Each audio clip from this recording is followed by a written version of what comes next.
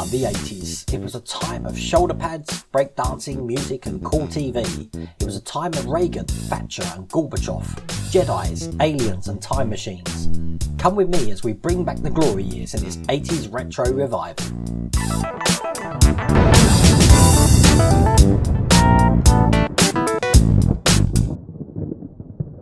Hi all, welcome to the first in a series of the 80s retro revival. Uh, I thought, you know, I'd make a retro corner over here, uh, and I need to fill it with loads of things from my favourite era, because it's the era I was brought up in, the 80s.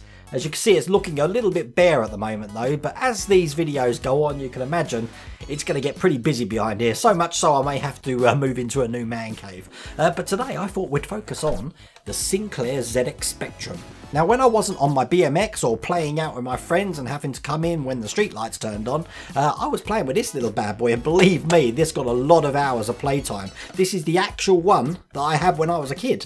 Uh, obviously since then I had a few of the other models, but I kept this one uh, just for nostalgia reasons, but let me tell you a little bit about it. The ZX Spectrum spawned from the original releases of Sinclair's ZX80 and ZX81, which were initially sold in kit form in fact, during development, the Spectrum was known as the ZX81 Colour or the ZX82. The first 16K Spectrum hit the UK in April 1982. Roughly the same time, Commodore 64s were being released in all the homes in the US. This explains why the Spectrum market was already established over here in the UK before the influence of the Commodore 64 started to enter people's homes. The ZX Spectrum was just over £100 at its release uh, and had rubber keys and its trademark rainbow motif. Has 16k of ROM memory and an audio line in and out port so software could be loaded from cassette tape media using a standard 3.5 inch jack.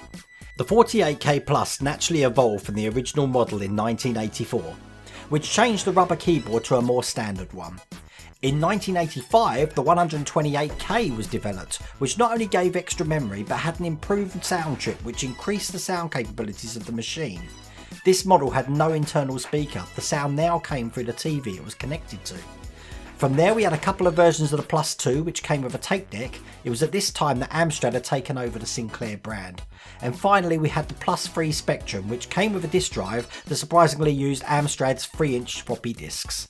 Now if you thought pre-broadband speeds were slow you haven't seen nothing yet. We had to use a cassette tape, put it in a cassette player and download the data to the Spectrum and you'd be greeted with this.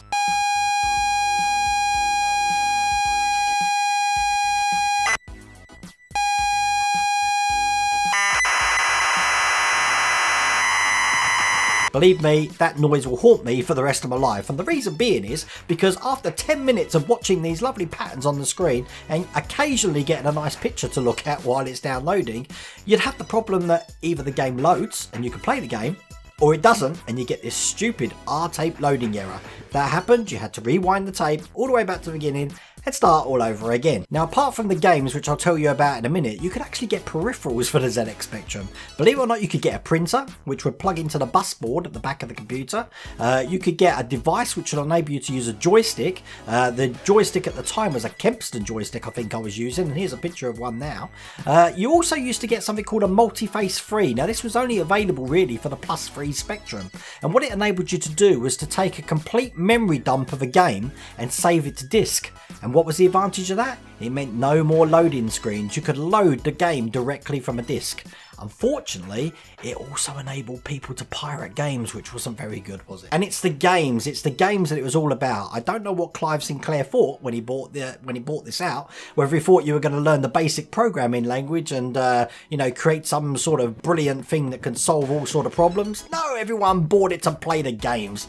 But what games did you want to buy? Because believe me, there were some right turkeys out there. Now, it wasn't just a war that was going on between the home computers of things like Commodore and Spectrum, there was also a war in the publishing world, especially on the ZX Spectrum.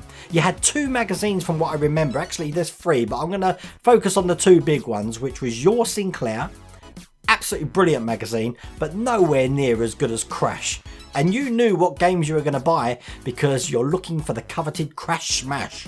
These were all the games that you just had to buy and uh, everyone had rated absolutely perfectly. So believe me, I focused on the Crash magazine monthly to see what games I'd buy for this. Games at the time, from what I remember, around about £7.99. Now, the ZX Spectrum didn't have the best graphics in the world, let that be said. Now, they had something called the attribute problem, and that is if you can imagine a character screen, say the letter A, is made up of 8 pixels by 8 pixels, they could only ever have two colours in those pixels. If they tried to have three, then the colour would bleed into the surrounding uh, pixels, which was really bad. For that reason, the uh, developers had to get very inventive with their loading screens and their graphics. Uh, let me show you some examples of some of the loading screens here you can see uh, they have to basically have minimal colour and colour in certain areas so that they don't bleed into opposite areas. Now on a loading screen they could be a lot more creative with that but unfortunately during the games they couldn't which is one of the reasons why on the ZX Spectrum most of the games were in a monochrome. Now one of the biggest memories you'll have of any of these old consoles is the 8-bit sound. Now believe me or not the music for this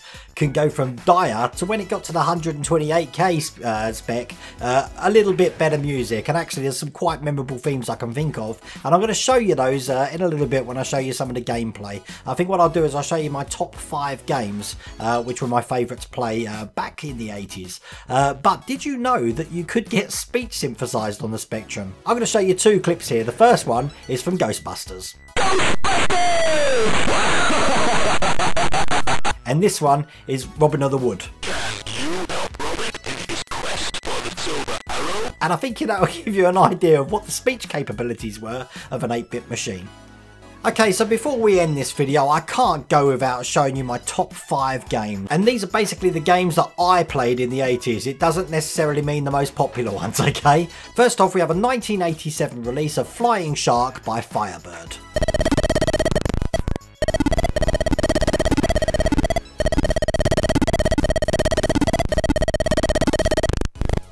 And next up we have Jet Set Willy, which was released in 1984 by Software Projects.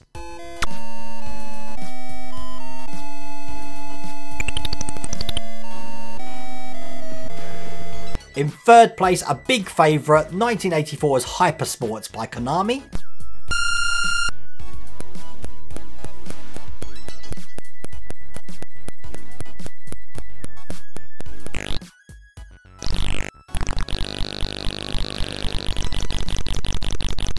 One of my absolute favourite games by Microsphere in 1985. It was the sequel to Skool Daze, Back to School.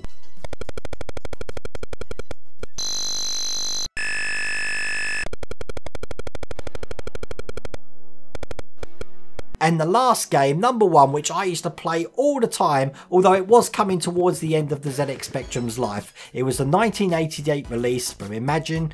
It was Target Renegade.